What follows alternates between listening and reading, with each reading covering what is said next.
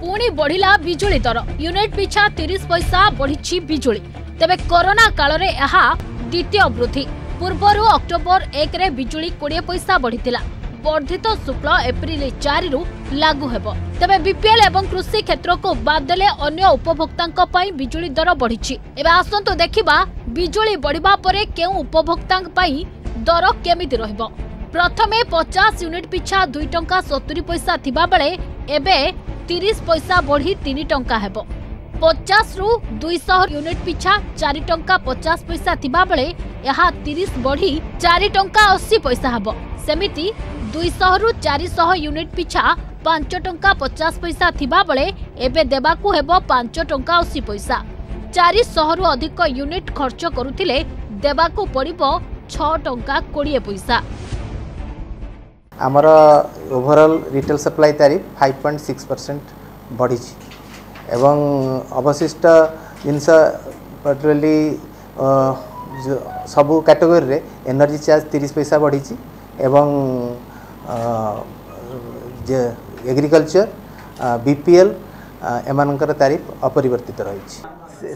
ଯେଉଁଟା zero two ପଚାଶ ଥିଲା ପଚାଶ ଟୁ ଦୁଇଶହ ଥିଲା ବା ଦୁଇଶହ ଟୁ ଚାରିଶହ ଥିଲା এবং চারশোটু অধিক লা যে চারটা স্লাব লা সে স্লাব সেমি অপরিবর্তিত রয়েছে এবং তার দেহে তিরিশ পয়সা লেখায় তারি বৃদ্ধি ঘটিছে তবে করোনা সময় বিজুড়ি দর বৃদ্ধিকু প্রতবাদ করেছে উপভোক্তা সংঘ রাস্তাকু ওহ্লাইছি সমাজবাদী পার্টি করোনা কালে এহা উপভোক্তা মুন্ডরে বোঝ উপরে ললিতা বিড়া বলে অভিযোগ করে বর্ধিত দর প্রত্যাহার পাই দল দাবি করেছে উদাহরণ খাউটি যে যেতবে তেল দর বড়ি যাচ্ছি গ্যাস দর বড়ি যাচ্ছি সেত ইলেকট্রিসিটি କେଉଁ କାରଣରୁ ଇଲେକ୍ଟ୍ରିସିଟି ଦର ପୁଣି ଆଉଥରେ କୋଡ଼ିଏ ପଇସା ବଢ଼ୁଛି। ଏବଂ ଯେତେବେଳେ କି ଓଡ଼ିଶାର ଅର୍ଥନୀତି ବର୍ତ୍ତମାନ ଅତ୍ୟନ୍ତ ଖରାପ ଅବସ୍ଥାରେ ଅଛି ବହୁ ଲୋକ ବେକାର ହେଇକି ଅଛନ୍ତି କ୍ଷୁଦ୍ର ଶିଳ୍ପ ଗୁଡ଼ାକ ଅଣୁଶିଳ୍ପ ଯେଉଁଗୁଡ଼ାକ ଚାଲିପାରୁନି ତାପରେ ବହୁତ ବିଦ୍ୟୁତ ବାକାୟା ରହିଛି ତାହେଲେ ରାଜ୍ୟରେ ଅର୍ଥନୈତିକ ଆର୍ଥିକ ଅଭିବୃଦ୍ଧି ହେବ କେମିତି? ସାଧାରଣ ଲୋକ ବଞ୍ଚିବ କିପରି? କରୋନା ମହାମାରୀ ସଙ୍କଟର ଯେତେବେଳେ ଓଡ଼ିଶାବାସୀ ସମ୍ମୁଖୀନ ହେଉଛନ୍ତି ସେହି ସମୟରେ ବିଦ୍ୟୁତ୍ ନିୟାମକ ଆୟୋଗ ଗୋଟିଏ ବର୍ଷରେ ବିଦ୍ୟୁତ୍ ଶୁଳ୍କ ପିଛା ୟୁନିଟ୍ ୟୁନିଟ୍ ପିଛା ଛଅ ମାସ ତଳେ କୋଡ଼ିଏ ପଇସା ବୃଦ୍ଧି କରିଥିଲେ ଏବଂ ଆଜି ତିରିଶ ପଇସା ୟୁନିଟ୍ ପିଛା ବୃଦ୍ଧି କରିଛନ୍ତି।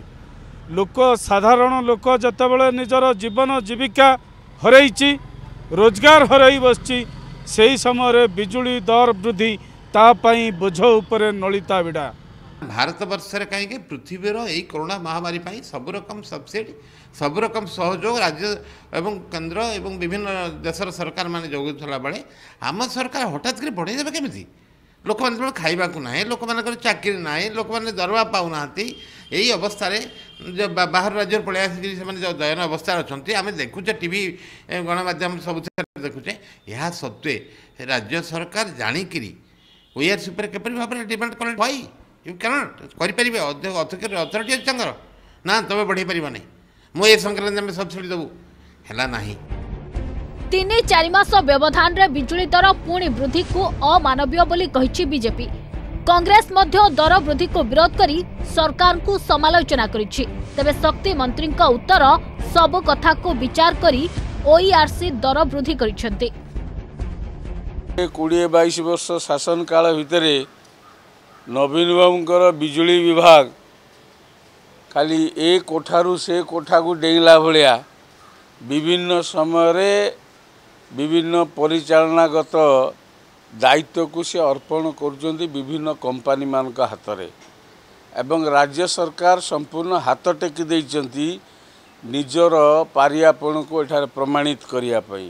ଯେଉଁଭଳି ଭାବରେ ଓ ଆର୍ ଇ ସି ଇଏ ଦର ବଢ଼େଇଛନ୍ତି ଛଅ ମାସରେ ଦୁଇଥର କୋଡ଼ିଏ ପଇସା ଓ ତିରିଶ ପଇସା ନିଶ୍ଚିତ ଭାବରେ ଓଡ଼ିଶାର ଗରିବ ଯେଉଁମାନେ ଗରିବ ଖଟକିଆ ଜନସାଧାରଣ ଉପରେ ଏଇଟା ମହଙ୍ଗାଇ ଉପରେ ମାଡ଼ ହେବ ଏବଂ ଟାଟା କମ୍ପାନୀକୁ ଲାଭ ପହଞ୍ଚାଇବା ପାଇଁ ଓଡ଼ିଶା ଭଳିଆ ଗରିବ ରାଜ୍ୟର ଜନସାଧାରଣକୁ ଇଲେକ୍ଟ୍ରିକ୍ କଞ୍ଜୁମରକୁ ବୋଝ ପଡ଼ିବ ସେ ତାକୁ ଆମେ ନିନ୍ଦା କରୁଛୁ ଅନେକ କଥାକୁ ଯେଉଁଥିରେ ଓଇଆର୍ସିର ସଦସ୍ୟ ରହନ୍ତି ବିଜୁଳି ଉପଭୋକ୍ତା ଫୋରମର ସଦସ୍ୟ ରହନ୍ତି ସରକାରର ଗିଡ଼ିକୋ ଏବଂ ଅନ୍ୟାନ୍ୟ ସଂସ୍ଥାର ସଦସ୍ୟ ରହନ୍ତି ସେମାନେ ସମସ୍ତେ ବସିକି ବିଜୁଳି ଉତ୍ପାଦନର କେତେ ବୃଦ୍ଧି ହେଇଛି ଟ୍ରାନ୍ସମିସନରେ କେତେ ବୃଦ୍ଧି ହେଇଛି ଏବଂ ଡିଷ୍ଟ୍ରିବ୍ୟୁସନରେ କେତେ ଖର୍ଚ୍ଚ ବଢ଼ିଛି ତାକୁ ସମସ୍ତ ଦିଗକୁ ଅନୁଧ୍ୟାନ କରିକି ଓଇଆର୍ସି ନିଷ୍ପତ୍ତି ନେଇଥାଏ ଏ, ବିଦ୍ୟୁତ୍ ଦର ବୃଦ୍ଧି ଉପରେ। ଗୋଟେ କ୍ୱାଜି ଜୁଡ଼ିସିଆଲ୍ ବଡ଼ି ଯେଉଁଟା ଗ୍ରାହକଙ୍କର ହିତରେ ରହି ପାଇଁ ସେ ବଡ଼ି ତିଆରି ହେଇଛି ସେଇ ବଡ଼ିର ଏଇ ନିଷ୍ପତ୍ତି। ଗୋଟିଏ ପଟେ ବିଭିନ୍ନ କମ୍ପାନୀ ଗୁଡ଼ିକ ଉପରେ ବିଜୁଳି ବିଲ୍ ପ୍ରାୟ ପାଞ୍ଚ ହଜାର କୋଟି ବାକି ପଡ଼ିଥିବା ବେଳେ ସରକାର ଏହାକୁ ଆଦାୟ ନ କରି ଉପଭୋକ୍ତା ମୁଣ୍ଡରେ ବୋଝ ଲଦିବା କେତେ ଗ୍ରହଣୀୟ ତାକୁ ନେଇ ଉଠିଛି ପ୍ରଶ୍ନ। ଭୁବନେଶ୍ୱରରୁ ସୁଶାନ୍ତ ସାହୁଙ୍କ ସହ ଦିବ୍ୟଜ୍ୟୋତି ମହାନ୍ତିଙ୍କ ରିପୋର୍ଟ ଅର୍ଗସ୍ ନ୍ୟୁଜ୍।